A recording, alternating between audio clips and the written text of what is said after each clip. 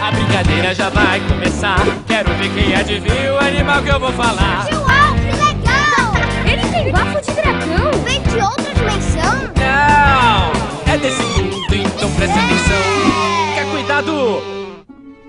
Super dado vai te pegar. Haha, nenhum superpoder vai me prender, porque eu sou o Caco, o mestre dos disfarces. Quero ver você escapar das minhas hélices cerebrais que fazem meu pensamento viajar. Uau! Mas eu tenho o maior superpoder de todos. Eu sou invisível! Toda vez você fala que tá invisível pra escapar. Aí não tem graça, Caco. Mas eu tô invisível. Como eu tô te vendo então? Viu? Te falei? Peraí, se você tá aí e eu tô aqui, quem apagou a luz? Foi o terrível Tinta Negra! Ih, mas que super-heróis mais michurucas. A gente se assustou de propósito. sei, sei. Não foi por causa do Tinta Negra, não. Claro que não. Aliás, quem é esse tinta negra, hein, tio? Tinta Negra é como eu chamo um dos bichos mais poderosos dos oceanos. Ele enxerga no escuro, nada super rápido, é todo contorcionista e o mais incrível, ele tem oito tentáculos! É o povo! Acertaram, é o povo. Este animal é tão maluco Que existem muitas lendas sobre ele.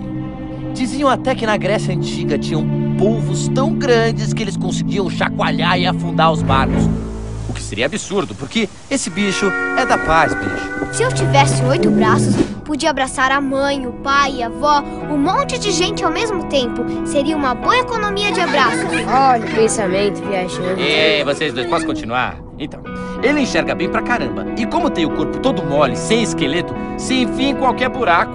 Tio, mas eu não entendi uma coisa. Tem ou não tem polvo gigante? Olha só, na costa brasileira, a gente tem polvos pequenos porque a água é mais quente. Mas onde a água é fria, eles atingem até 7 metros de comprimento. Caramba!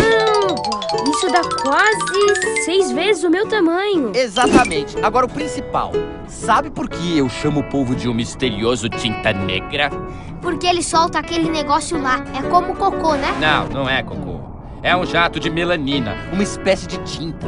Se um outro bicho se aproxima pra brigar com o polvo, ele solta essa tinta pra atrapalhar a visão do inimigo e aí, pumba, se manda. Esse bicho é poderoso mesmo, hein? A partir de hoje, eu serei o super polvo, então. Não, eu vou ser o super polvo. Nada disso. Ninguém aqui vai ser o super poderoso povo, porque eu já sou o Tinta Negra e eu vou pegar vocês.